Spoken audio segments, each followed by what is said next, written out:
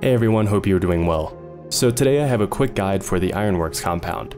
I will quickly show you some angles and peek spots that perhaps you didn't know about. This compound used to be very camper friendly and still is to some degree, but recently the developers tweaked and added a few spots. These changes have made it much easier to make plays compared to before. However, I do feel this compound needs a little more tweaking by the devs as these changes were minimal. If you have any additional spots I didn't go over here, feel free to comment down below and help out your fellow hunters. And be sure to like the video as well as it really helps the channel. But with that aside, let's get right into Ironworks.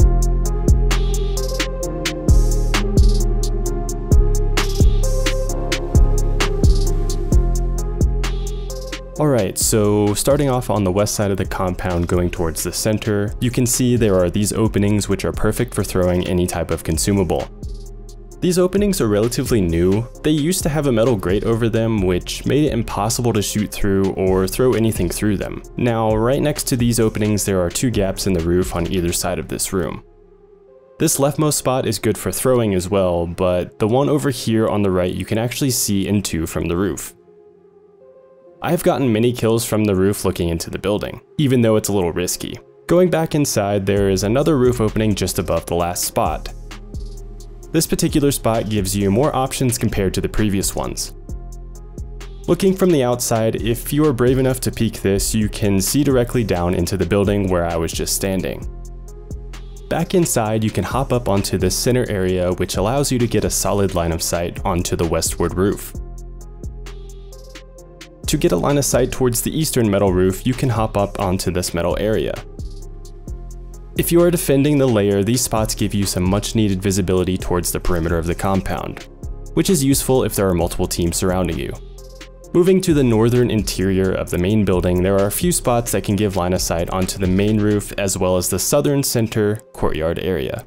These are very common spots, so I wouldn't peek more than once or twice from here. And be extremely cautious if you're on the outside. It's easy to see out of but near impossible to see into, unless you have some well placed fusees. Going back into the interior, there are two additional spots in this room.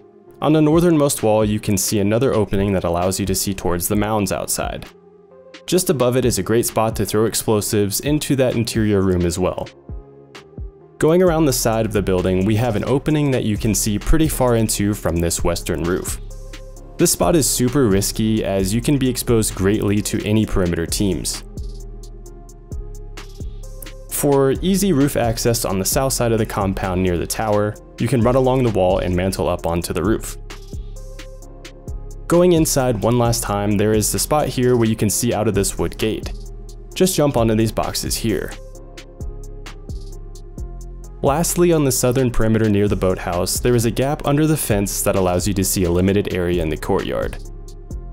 This spot is for a very specific scenario and just thought it was worth mentioning as it conceals your position pretty well.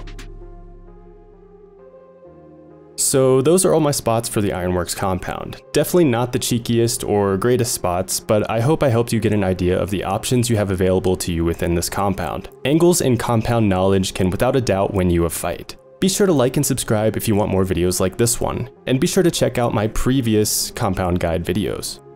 Thanks for watching everyone, catch you all in the next video.